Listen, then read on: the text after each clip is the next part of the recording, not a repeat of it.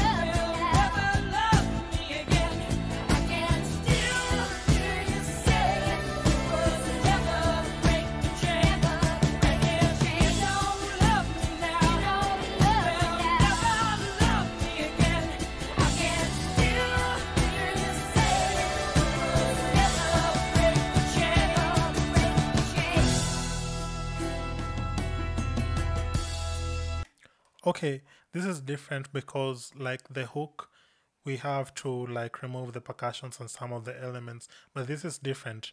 In the the rest of the of the track we have this kick and these uh strum uh these uh riffs. And then on the hook now we have the percussions we have the snare drum we have the hi-hats. I mean it's like the reverse of the usual how people arrange. Yeah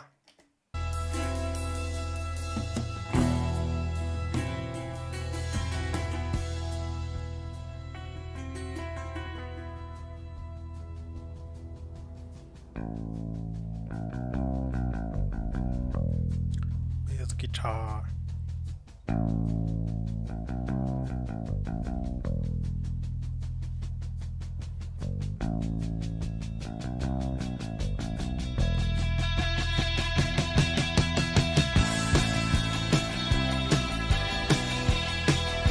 Okay. The drama's time to shine, yeah?